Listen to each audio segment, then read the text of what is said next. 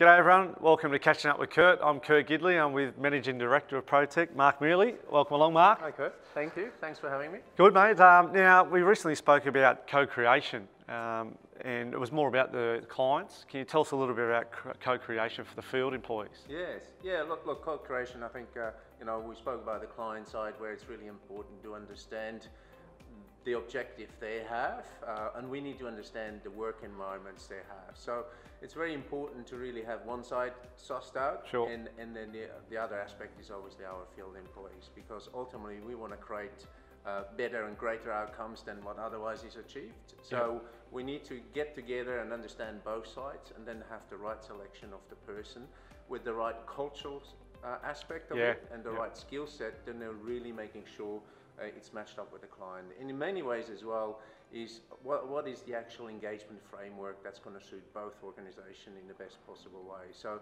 so that's why co-creation really is the objective of the field employees, what yep. they're trying to achieve and what the clients are trying to achieve, and then find the right matches to bring them together yeah. have greater outcomes. Sure. What do you see the future of co-creation, mate? Where's it going to take us? But co-creation uh, is, is, is very important, I think, in the next decade, absolutely, because uh, we are fast uh, changing world, technology is improving or, or, or, changing our worlds on a day-to-day -day basis. Yeah. In, in, and we heard it many times already, skill sets are going to change.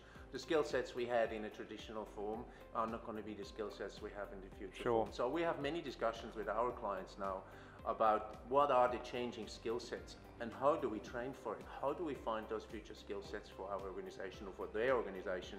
So I think this is where the future is going to be, even a better collaboration between yeah. workforce management organization like us and the actual clients obviously focused on their task performance and really making sure we work together as two industries in that transitional time where everything is changing.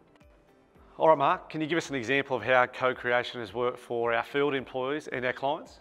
Yeah, sure. Look, and it can be uh, very, very complex when you know entire workforce solutions, and you know there's a, there's a complex world in the industrial relations uh, landscape. Yeah. Uh, but but maybe one that comes to mind is uh, a recent uh, example we had in Tasmania and Burnie, where uh, one of our clients in manufacturing business really required very high highly skilled welders, yeah. um, where one of our our people really understood what the client needed and then created a solution to actually internally test those skill sets prior to them actually getting engaged and being deployed to site.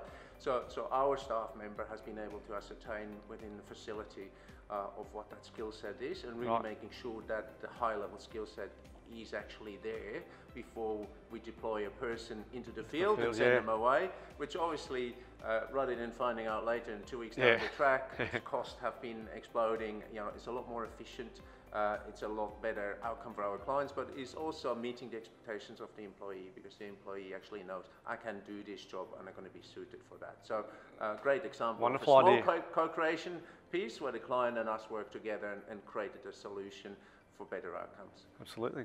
All right, mate. Thanks for catching up with Kurt. Yeah. We'll see you next time. Thanks, mate.